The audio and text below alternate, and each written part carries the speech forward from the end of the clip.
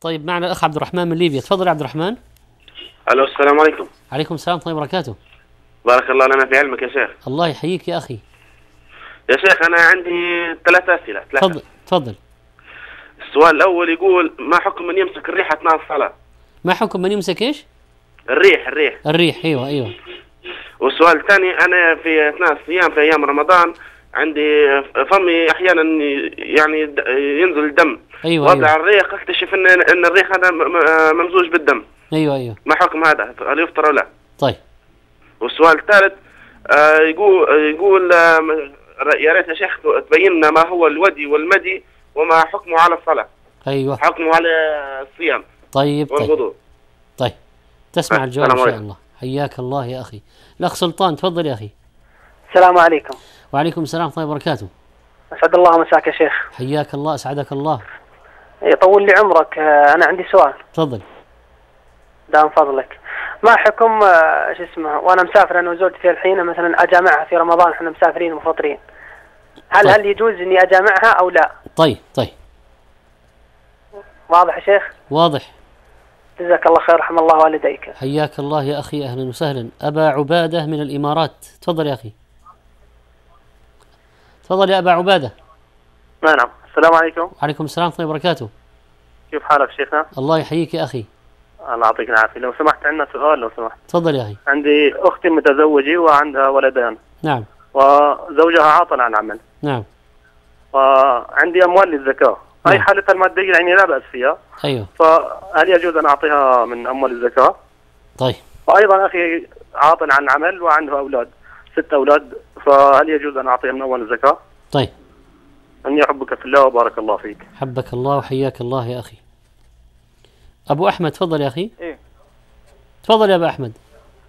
السلام عليكم. وعليكم السلام. ورحمه الله وبركاته أحسن الله يا شيخ. حياك الله. آه، يا شيخ عندنا فطور جماعي في المسجد. أيوه. ف إيش حكم ال- ادخال ال- ال- الأطعمة هذه اللي فيها البصل والكرات؟ أيوه. مع, مع العلم إنه إحنا بنبخر ال- هذا بعد ال- الفطور إن شاء الله. أيوه أيوه أيوه. وعندي سؤال ثاني؟ أيوه. عندي سؤال ثاني يا شيخ. هات. بالنسبة للزكاة أيوه. الأفضل إن نعطيها دفعة واحدة لفقير واحد ولا نجزئها لأكثر من فقير يعني؟ طيب طيب. جزاك الله خير يعني. حياك الله يا أخي. طيب الأخ زهير تفضل يا أخ زهير. من فرنسا تفضل. زهير؟ السلام عليكم. عليكم السلام ورحمه الله وبركاته. يا شيخ أنا عندي سؤالين أنا أنا راح يعني سؤالين على كل حال. تفضل. السؤال يعني أنا كنت في فنلندا في عيد الأضحى. أيوه. و- آه، في الأضحية. أيوة. ذهبت إلى ال- ال- المذبحة. نعم.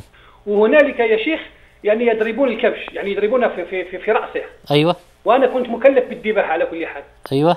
يعني الك... يعني التضحية يعني راحت يعني سبحان الله العظيم. يعني حتى خرج منها من مخه يعني آه، ال- ال- الدم. بعدين ذبحناها هل. هذا حلال أم حرام؟ يعني ال- ال- اللحم بتاعه. تسمع الجواب في حكم ضرب في حكم ضرب يعني ضربوا في رأسه حتى خرج منه يعني الدم وخرج اي منه اي ال- اي ال- تسمع الجواب في حكم ثاني يعني زوجتي يعني طهرت بعد 40 يوم. يا زهير. زوجتي طهرت بعد 40 يوم. أيوه. وبعدين يعني آه، صار جماع وكان وكان فيها يعني يعني بعد بعد وكان فيها دم. هل هذا يعني آه، يسمى يسمى يعني استحاضة ويسمى يعني دم طيب طيب. دم حيض طيب خير السؤال الثالث يعني هل يجوز يعني هنا في, في, في أوروبا يعني بناء مساجد؟ يعني يعملون فيها يعني مسابح ويعملون فيها مراكز يعني بتاع الرياضة يعني أشياء كثيرة يعني يعني الزين يعني أشياء كثيرة يعني. طيب طيب. طيب خير إن شاء الله. كان عندنا سؤال موضوع ال- القرض في المسكن آه، من البنك بفائدة. طبعا ال- الاقتراض من المصارف بزيادة ربا وحرام لمسكن لزواج لسداد دين هو محرم ربا واضح. والمصيبة الربا الله سبحانه وتعالى توعد فيه بأشياء فإن لم تفعلوا فأذنوا بحرب. وكذلك قال إن كنتم مؤمنين يعني نفي يعني معناها المسألة متعلقة بالإيمان يعني معناها أن هذا يقدح في القدح في إيمانه. وكذلك فإن آه، فإن آك فإن فإن المرابي أيضا متوعد بالتخبط. عند القيام من قبره يتخبط. كما يتخبطه كما يقوم الذي يتخبطه الشيطان من المس. يمشي على غير هدى ويسقط ويقوم خلاص يتخبطه الشيطان. يقومون من قبورهم بالطريقة يعني. ولذلك المسألة خطيرة مسألة الربا. آه، ينبغي أن توضع آليات بحيث أن المصارف تشتري البيوت تبيع على الناس بالأقساط تشتري شراء حقيقي. لا تلزم الزبون بالشراء قبل أن تشتري. بعد ما تشتري يوقع معها العقد بالأقساط. يجب أن يقوم في المسلمين من يعمل هذه الآليات ويقدمها للبنوك حتى في خارج حتى في أوروبا. وهم مستعدون أن يسمعوا لأشياء إذا عرفوا أنه هذا هناك زباين كثيرين. هناك مسلمون كثر لا يدير الربا وفي بدائل وتكسبهم. في بدائل وتكسبهم. خلاص. هذا ما يريدون. الاستغفار أم التسبيح والتهليل والتكبير؟ إذا كان الإنسان مذنبا فإنه ماذا ماذا ما هو المقدم بالنسبة له؟ الاستغفار. يعني إذا واحد يده زو مثلا خلينا نأخذها مثال.